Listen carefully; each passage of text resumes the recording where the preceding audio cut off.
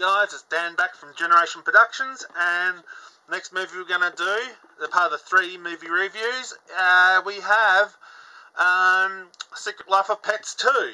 So let's get into Secret Life of Pets 2. Just give me a second, people. and enjoy. Who let the dogs out?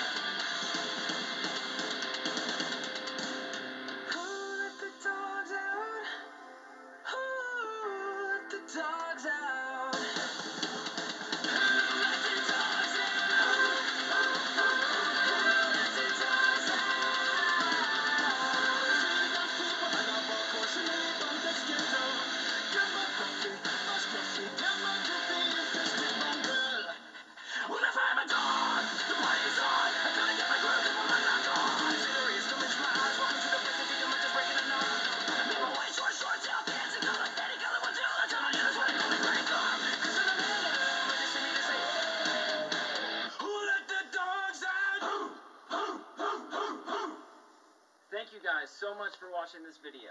You can either subscribe to our YouTube channel, watch another video, or head over to our Patreon page to become a member now. What's up?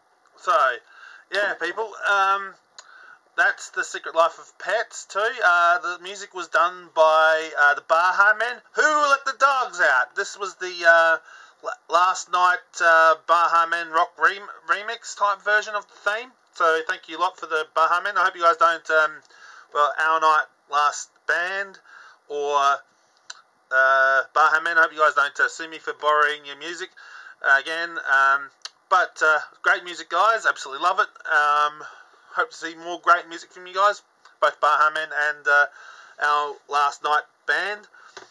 You guys are good to go. Um, so yeah, so as I was just showing you guys, that's Secret Life of Pets 2. Now, Secret Life of Pets 2, I was kind of disappointed with, to be honest. Uh, no offense to Illumination, you guys are absolutely brilliant, and Disney or whoever you guys are going through is reasonably brilliant. Uh, but the issue I have with Secret Life of Pets 2 was quite simply um, the fact they were going with two different stories at the same time. Now, we have a story about this. Um, so, spoiler alert to if you guys have not watched the movie, go watch the movie then come back to this uh, review. So, more or less, this little bit of review is to deal with the um, idea of the two different stories that were going on in Secret Life of Pets 2, which I think was a really big take from the actual movie. Guys, if you ever do one of these Secret Life of Pets 3 or something, please stick to one story, not having two stories at the same time. It was very confusing, it was doing my head in, and I really didn't think it was actually that good in that respect. Two stories going on at the same time, not really good chemistry. I'm sorry, guys. Uh, so you could have made actually made two different movies about this. You could have made two movies out as one. Okay. so back to the Secret Life of Pets 2. So we have the story where one of the dogs was um, getting a little bit upset about you know this you know that they finally the two dogs finally got this boy that um, you know basically ha- the, the the owners had had this child. And so they were teaching this kid all different stuff but this one dog was freaking out about this kid all the time. And so basically he would get like a like an itchy like a itchy scratchy tick now and then. And so he was put uh, basically the owners put him in one of them head things to stop him from scratching and biting himself. And also um, they decided to go out to a farm. So these two big dogs uh, go out to the farm they meet, meet another uh, basically meet, meet a sheepdog out there who teaches them yeah, all the different stuff and how to just let let relax and let things slide and let things go and do and, and let, basically let live and live and let live sort of concept. Um, and so we have that story. Then we have back in the city we have a cat, a rabbit, and a few other animals going around trying to save a a ti- uh, basically a white tiger uh, I think it's a Bengal white tiger. I don't know. Some of you guys can leave in the comments below uh, what type of tiger it is. I think it's a white Bengal tiger um, that was actually put in a uh, like a circus performance. And so these other animals heard about this and then went to go rescue this big old uh, cat, basically this big old tiger cat from being in this circus and we have uh, wolf, this owner owns wolves and they go chase the uh, animals and all stuff through the sewers and all sorts of fun stuff. So, but to be honest, look, people, seriously, this movie had the, the, biggest issue in this movie, A Secret Life of Pets 2, was quite simply put that more or less the biggest uh, issue with it was the fact of oh, two stories going on at the same time. If they just left it alone and had one main story throughout the entire movie, it would have been fine.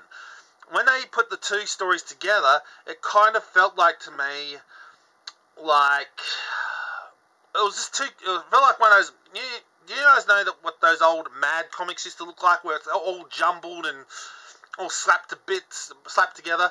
That's what it felt like to me. It felt like a uh, like a um, Mad comic uh, where everything is just going on all at once, and it's not. Um,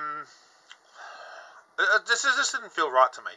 But um, again, so this is sort of a little bit of a negative review, but the positive side, both both storylines I got a real strong storyline, but I really felt that you could either do with one or the other. You didn't need to have both in the same movie. You could have a one, this one movie, um, Secret Life Pets 2, could have been a prequel and a sequel, or no, a prequel and the actual movie Secret of Life Pets 2, like Secret of Life Pets, Secret of Life Pets uh, 2 Part 1 and then Part 2. It would have been made sense to split them up and have two separate actual movies t- uh, tie, tie in together. It would have made perfect sense to do it that way, but no, they didn't do it that way. So, so we're stuck with what we got. Um, but yeah, uh, that's all I can say about this movie. Thanks, thanks people for watching. Catch you all later. Bye, and thanks for watching. Bye.